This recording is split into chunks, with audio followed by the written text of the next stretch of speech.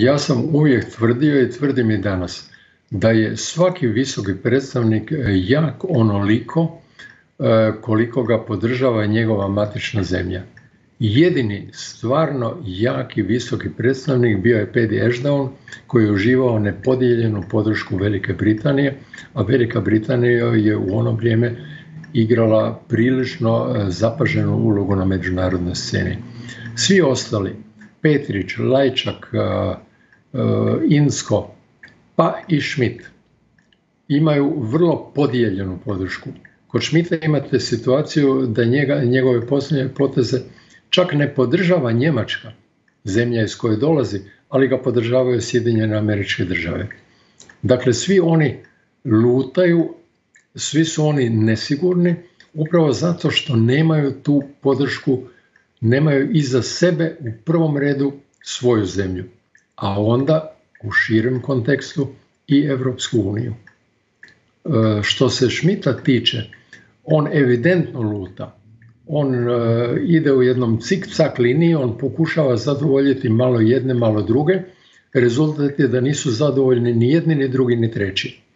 Ovo što je sad napravio, to je tipični e, korak upravo takvog jednog ponašanja, lutajućeg ponašanja. On je uveo tehničke izmjene, nije uveo sadržajne izmjene kakve traži Zagreb i kakve traži HDZ i BiH Prema tome, oni su nezadovoljni tehničkim izmjenama, nezadovoljni su drugi u Bosni i Hercegovini, a očekivati da se e, političari ili e, kako ih neki e, analitičari posprdno nazivaju plemenski vođe u Bosni i Hercegovini sami dogovore iluzorno je kad se godinama i godinama ne uspijevaju dogovoriti.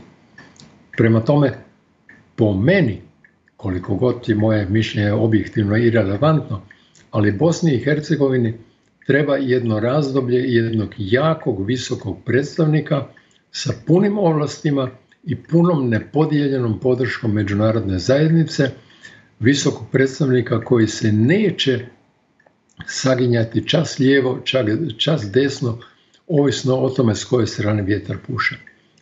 Schmidt mislim da takav visoki predstavnik nije. E, ja ću vam reći što bi Hrvatskoj trebala biti Bosna i Hercegovina. Trebala bi biti prvi susjed, prijateljska, međunarodno priznata zemlja s kojom bi se odnosi trebali razvijati na osnovi uzajamnog poštovanja, pune ravnopravnosti i zadovoljavanja uzajamnih interesa. To bi trebalo biti. Nažalost nije. Što se službenog Zagreba tiče, on nažalost Bosnu i Hercegovinu dalje smatra prioritetom svoje vanjske politike, ali samo u kontekstu zadovoljavanja političkih ambicija dijela hrvatskog korpusa u Bosni i Hercegovini. Hrvatska politika se ne vodi prema Bosni i Hercegovini, nego prema dijelu hrvatskog korpusa u Bosni i Hercegovini. To je ona ključna greška i dok se to ne promijeni, nema pomaka u našim odnosima.